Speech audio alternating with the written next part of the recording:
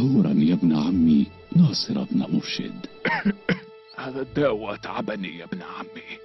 وإني والله لأظن أن ساعة الرحيل دنت. والله الله في عمان. واصلوا الفتح يا سلطان بن سيف.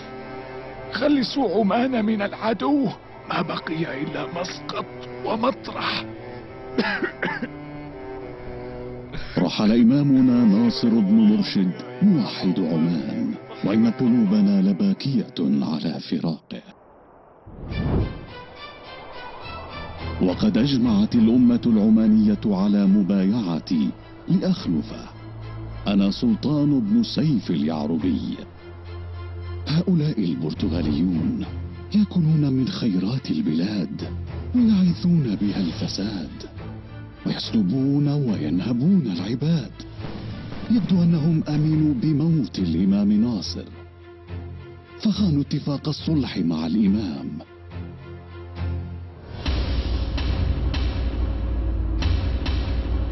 إذا لابد من تأديبهم.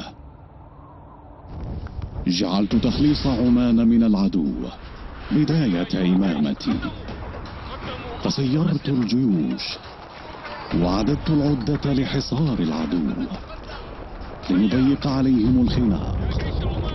أيها الجنود هيا تقدموا. تقدموا.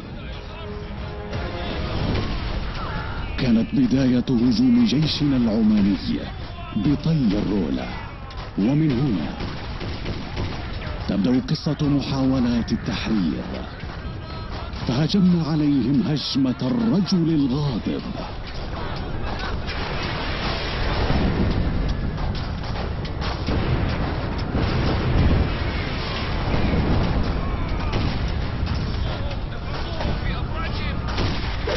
ولقي العدو خسائر فادحة فقد جئنا بروح يملأها الولاء لعمان. طال حصارنا على مسقط أياما أسابيع أشهرا وكانت البنادق تتلاحم بين العدو من أبراجه وبين جند عمان. والعدو لا يزال صامدا. فقد كانت حصونه ممتلئة بالغذاء والمؤن. كيف الخلاص إذا بين هدوء الحصار وتسلل اليأس؟ وصلت لنا أخبار بأنه في الليلة القادمة هناك عيد للبرتغاليين. يسكرون ويعربدون فيه. إنها اللحظة المناسبة لمباغتتهم. ودخول حصونهم لا بد أن نستغلها. بدأ الاحتفال وبدأ العدو يغيب عن مشته. وبدأ مع هذا تسلل جنود عمان حتى نقترب من الحصون البرتغالية. تسللنا في هدأة الليل إلى القلعة.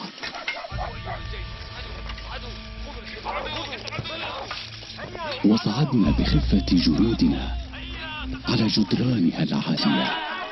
والعدو لا يعلم بنا.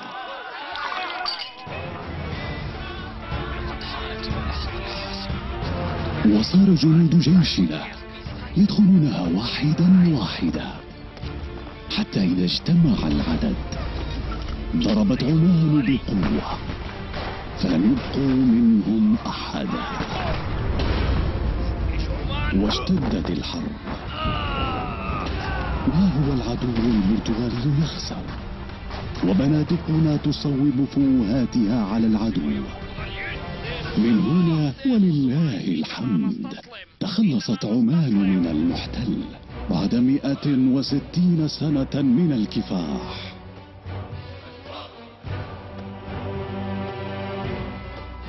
وبقيت البلاد آمنة هانئة.